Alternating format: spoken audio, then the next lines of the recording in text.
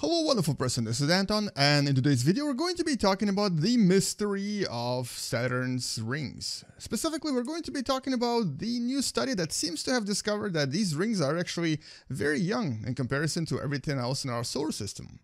Anyway, welcome to What Da Math.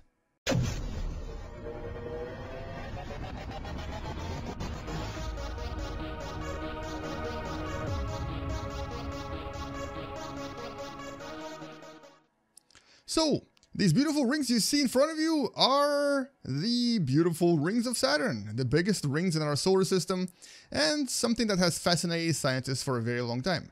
Specifically, very recently during the Cassini mission, which I'm going to show you in a second, uh, the uh, Cassini probe got to actually jump through these rings a few times and collect a lot of data. And we finally got to look at this data and interpret it a little bit and discover some really cool things. So uh, let's actually take a look at NASA's eyes and actually look at what Cassini was doing when it was going through the rings right here. So there is Cassini, it's going to be flying through the rings and it actually did this several times uh, and got to collect a lot of data on the way.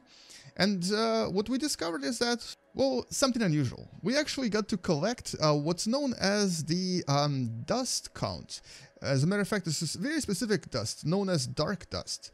And um, dark dust is something that collects in our solar system, usually in the ring systems especially, um, when uh, things get old. Basically, our solar system is actually quite polluted. There's a lot of dust flying around coming from the outer solar system, and a lot of these particles are usually darker. Many of the rings around other planets, such as for example Neptune, uh, which I can try to show you if I get the right angle here. And uh, here they are, the rings of Neptune. These are much darker than the rings of Saturn. And for the longest time, we actually thought that Saturn's rings were also old and possibly uh, were there since the beginning of the solar system. But the more recent study by uh, Bonnie Buratti of the Jet Propulsion Laboratory actually decided to question this. And what they did is essentially measure the um, various particles inside the rings of Saturn and try to find out um, if those uh, dust particles that would usually be coming from the outer solar system sort of met the expectations of something that was 4.5 billion years old. And turns out it doesn't. Well, first of all, we don't even know how massive the rings are yet, but although we assumed originally that these rings were about 10 to 20 masses of Mimas, one of the moons of Saturn, which is right there orbiting around Saturn, turns out that it's not even half of Mimas, um, possibly maybe even 40% of Mimas. So these rings uh, wouldn't be really attracting that much dust to begin with. On top of that, what we've discovered is that, well, it just seems that these rings are way too bright to be old. If these rings were 5 or at least 4 billion years old, as we originally thought, they would be much, much, much, much darker and they would be filled with this dark dust that is coming from the outer solar system. But they're not. They're very bright, they're very, very icy, they're very reflective, and the actual um, count of those dust particles that would be coming from the outer solar system is very low. In other words, these rings are very likely only about maximum 200 million years old, which means that when the dinosaurs were ruling the Earth, these rings were not even around, so the dinosaur astronomers never got to see them, if there was such a thing. Probably not, but you never know. So, what exactly happened here and how did we actually form these rings? Well, we can try to simulate this using Universe Sandbox and basically try to see how these rings could have formed. So one of the ways, and this is what we thought originally, was that it's mm, it's possible that a uh, some sort of an asteroid or very likely a comet, uh, icy comet specifically, passed by Saturn, basically flew by here, and um, was captured. And then, as it was captured, there it is, uh, it fell apart due to strong gravitational forces of Saturn, and then, oh, this one got swallowed. And then the uh, leftovers basically turned into rings. That was the original assumption. Well, it turns out maybe, just maybe, this is not exactly what happened. For many, many reasons, we now believe that uh, these rings could have come from a moon that used to be around Saturn. So we think that it's either that there was a moon on the outskirts somewhere, so let's just actually create a random small moon orbiting around Saturn somewhere in the distance. So there it is.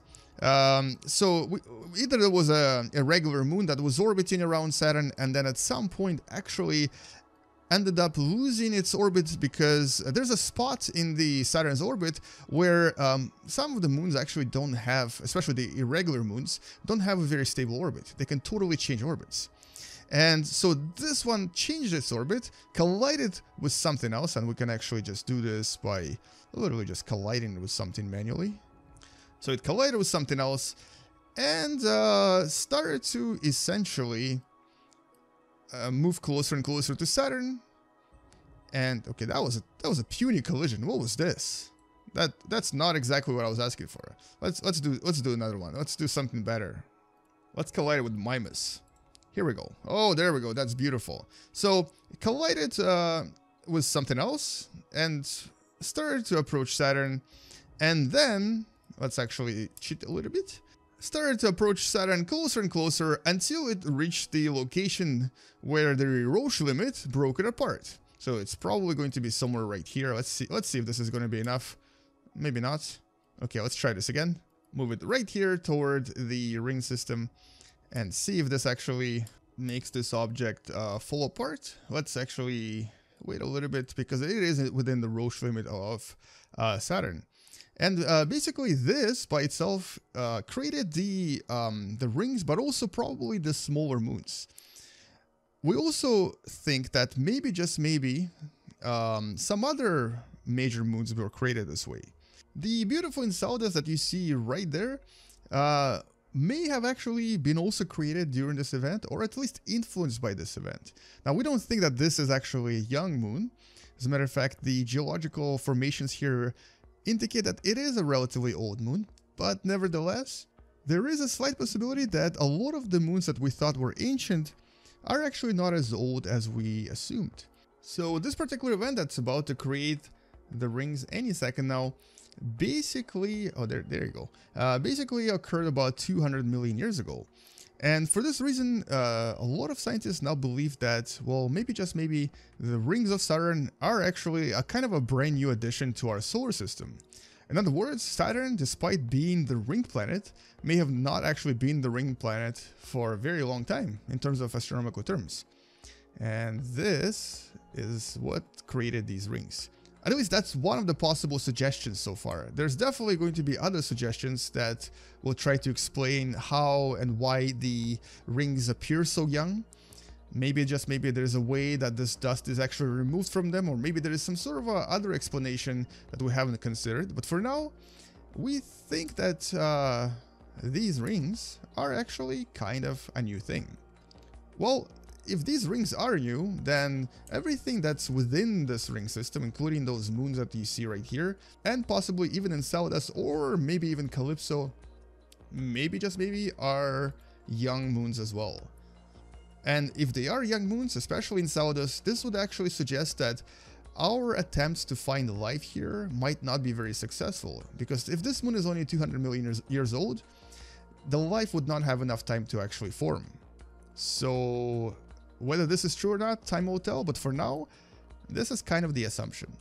Well, anyway, that's all I wanted to talk about in this video, and hopefully you learned something from it, and hopefully now you know a little bit more about the rings of Saturn. Come back tomorrow to learn something else. I'll see you guys tomorrow. Space out, and as always, bye-bye.